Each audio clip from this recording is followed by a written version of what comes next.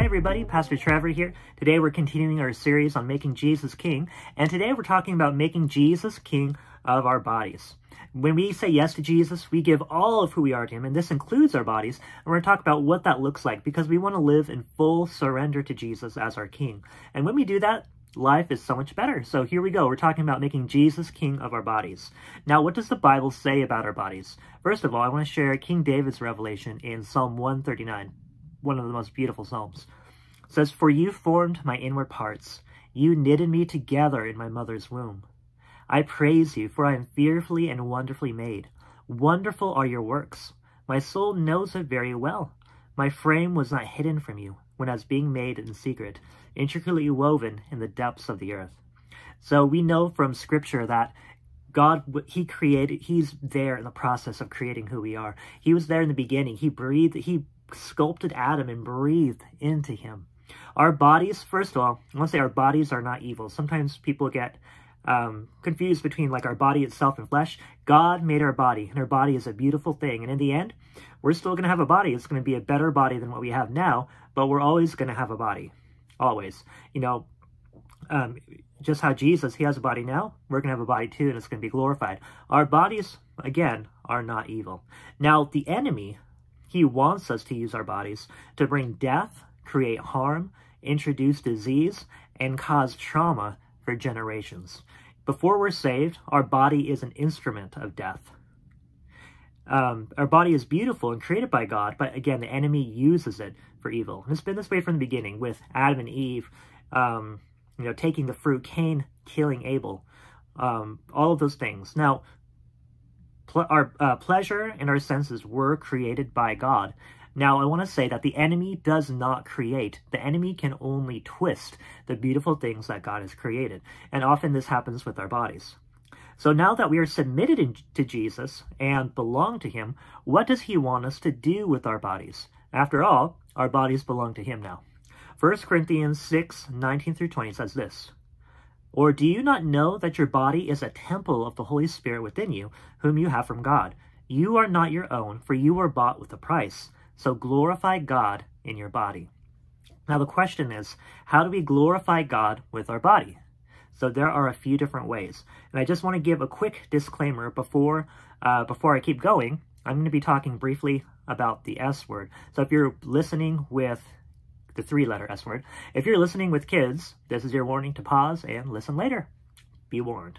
So first of all, when we say yes to Jesus, it is expected that we save sex or marriage. It is beautiful and holy, and as followers of Christ, we're expected to save this special gift for the marriage bed. Outside the marriage covenant, it is destructive and a tool for the enemy. All things are lawful for me, but not all things are helpful. All things Excuse me, all things are lawful for me, but I will not be dominated by anything. Food is meant for the stomach, and the stomach for food, and God will destroy both and one and the other. The body is not meant for sexual immorality, but for the Lord, and the Lord for the body. And God raised the Lord, and will also raise us up by his power. Do you not know that your bodies are members of Christ? Shall I then take the members of Christ and make them members of a prostitute? Never. Or do you not know that when he is joined to a prost he who is joined to a prostitute becomes one body with her? For as it is written, the two will become one flesh. But he who is joined to the Lord becomes one spirit with him. Flee from sexual immorality. Every other sin a person commits is outside the body, but the sexually immoral person sins against his own body. So it's really important that we understand that we are temples of the Holy Spirit. If we call ourselves believers in Jesus, if we're disciples, we should not be uh, we should not be having sexual intimacy with anybody except our own spouses. When we do that, we're introducing. Um, we're, it, the Bible says that we become one with the people that we um, that we have intercourse with. So if we're doing that, we are exposing, our bodies are a temple of the Holy Spirit. The Holy Spirit dwells inside of us. So when we're doing these things, we're sinning against our temple. Our body is meant to be a temple of the Holy Spirit, and we're in, we become one with that person, and we're introducing things not just into our body, but our spirit that should not be there. The Holy Spirit is jealous, and he doesn't want to share his temple with anybody or anybody else's stuff. So it's not just a physical dynamic that's happening, but it's a very spiritual dynamic, and we need to make sure that we flee from it, just as Paul says here, that we flee from that. Uh, 1 Thessalonians 4, 3 through 5 says, For this is the will of God, your sanctification, that you abstain from sexual immorality, that each one of you know how to control his own body in holiness and honor, not in the passion of lust like the Gentiles who do not know God. So it's really, really important that we abstain from sexual immorality. I'm going to say again, super important. Again, God made it, and we he said, you know, be fruitful and multiply to Adam and Eve. Um, sex is a very special thing between a husband and a wife. It is a covenant, and inside that covenant, it is beautiful, and um, it brings God so much glory. But outside of it, the enemy twists it. Uh, through it, he brings disease and harm, trauma, and all these things. And for believers, we should not we should not have sex outside of marriage at all. Before, after, uh, before or after with other people, one spouse forever in that covenant. So very, very important that we that we listen to Jesus, listen to the word on this. All right, and then we're going to talk about we glorify God by being sober. So Proverbs 21 says, Wine is a mocker, strong drink a brawler, and whoever is led astray by it is not wise. 1 Corinthians 6.10 says, For thieves, nor thieves, nor the greedy, nor drunkards, nor revilers, nor swindlers will inherit the kingdom of God. 1 Peter 5.8 says, Be alert and of sober mind. Your, your enemy, the devil, prowls around like a roaring lion looking for someone to devour. And so I want to say that it's important that we as believers are sober minded. Now, the Bible does not have a prohibition against drinking, but it it's very clear that drunkenness is not for the child of God. Because when we are drunk, we are, first of all, we're living in excess. And second of all, our mind gets completely taken over. We're not in control of our mind. And if there's anything that we're supposed to have is self-control. A fruit of the Spirit is self-control. When we allow our mind to be altered, and this includes drugs too, um, although abstain completely from drugs. Make sure you don't do them at all, because all of these things, they can distort our mind and the way we perceive reality. And when um, when our mind is hijacked, be it by drunkenness or participating in drugs or anything like that, we are allowing the enemy to influence our lives and our guard is down. It's very important that we are sober-minded. So again, there's not a prohibition against drinking in the Bible, but being drunk and using any kind of uh, drug for uh, drug because it, it, alters it alters your mind and it keeps you. Not only is it harmful for your body, um, but it's like I said before, it's opening an avenue for the enemy to affect you, and you're not living in self control. Uh, and we also glorify God by abstaining from gluttony. This is one of the big things that, one of the big sins that nobody talks about. Um, Proverbs 23, 20 through 21 says, Be not among drunkards or among glutton, gluttonous eaters of meat, for the drunkard and the glutton will come to poverty, and slumber will clothe them with rags. 1 Corinthians 6.12 says, I have the right to do anything. You say, but not everything is beneficial. I have the right to do anything, but I will not be mastered by anything. So again, food should not master us either. Um, food is wonderful. God made such, like, it's crazy to think that God made things like berries and herbs and all these flavorful things. And God wants us to enjoy those things, but he does not want us to live in gluttony and overeat. Um, that's not self-control. Again, he wants us to be sober-minded, which goes back to what I talked about earlier. Uh, he wants us to be sober-minded and he wants us to have self-control. And when we eat too much, we are we're harming our bodies when we're overeating. We want to make sure that we are not participating in gluttony in any way. And we want to make sure that when we eat, our food is ultimately meant to fuel us. Yes, food is pleasurable, and God wants us to enjoy the pleasure of eating. But if we are eating in, in excess and filling our bodies with destructive things, we're making our bellies our God and destroying the temple of the Holy Spirit. Remember, your body is a temple of the Holy Spirit, and we want to make sure that we are fueling it with good things. So fitness issues and bodily issues should not keep us from our call. Um, if the things we're eating are keeping us slow, um, making us slothful, or they have dominion over us in any way, it's keeping you from living the full life that God has meant for you.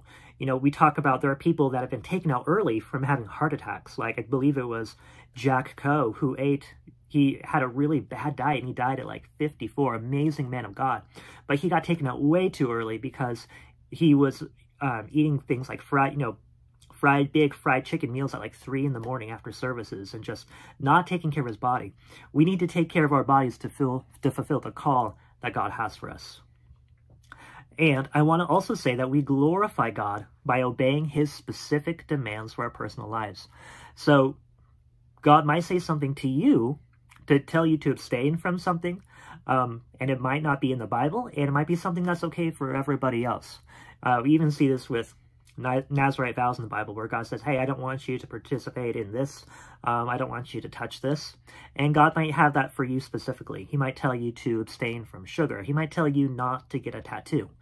Um, like, again, those things aren't bad in and of themselves, but he might have something that he does not want you to participate in.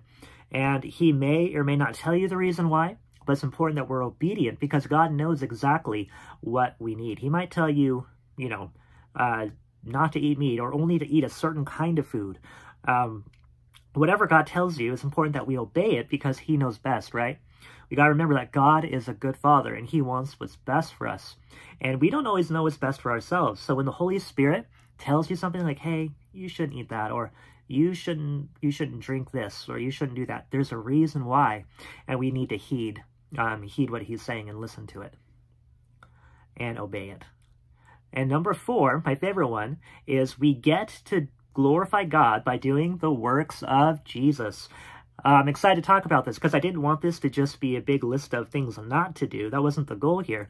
Um, but we get to talk about what we get to do. All right? Remember, like I talked about, our bodies in and of themselves are not evil. So when we're saved, we get to use our body for good things, right? So we are a temple of the Holy Spirit. It's important that we are not mastered by anything in regards to our body. And when we take away those things that are mastering us, we're removing idols from our lives and we're able to commune with God. Most importantly, we're able to commune with God without any hindrance. Like think about it. If your body is a temple and you're doing things to sin against the Lord with things that are hurting your temple, God doesn't want to share a temple with any idols, right? He's living inside of you. The Holy Spirit doesn't want to see like an idol, like, what's this guy doing in here, right? We want to be completely clean so that we can commune with God um, without any kind of hindrance um, and bring glory to the name of Christ, right? So Jesus went about doing good. He healed the sick. He raised the dead.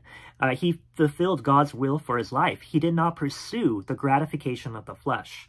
Um, that doesn't mean he didn't enjoy, you know, eating or, you know, uh, eating and stuff, that does he still enjoyed life, but he did not live to gratify the desires of the body.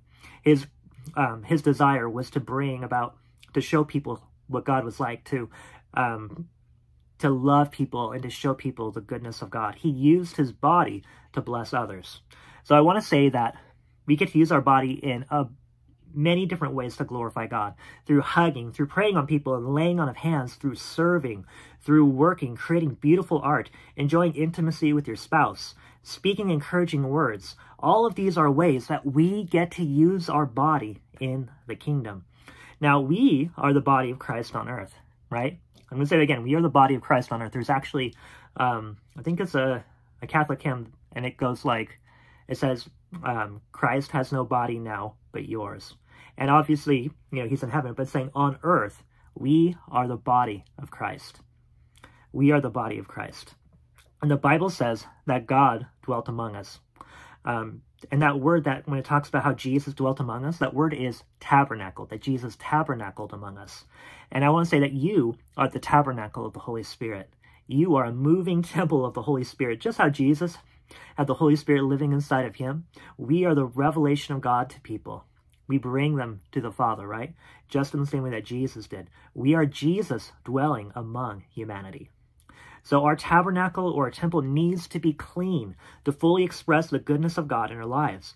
When we sin against our body, we are live when we sin against our body, we are inviting uncleanness into the temple of the Lord. I want to let you know that you are valuable. I'm going to say it again. You are valuable. Do not desecrate your temple. You're too good for that. Don't desecrate your temple. It is for the Holy Spirit alone. Your temple is for Him. And I want to encourage you to use your temple to bring God glory everywhere you go. Our bodies are not our own. They belong to the Lord. So I want to encourage you with that as you make Jesus king. Ask him this week, is there anything in my life where I'm not glorifying you with my body, Lord? And ask the Holy Spirit to show you, and he will. And I just want to encourage you with that this week. Have a wonderful rest of your day.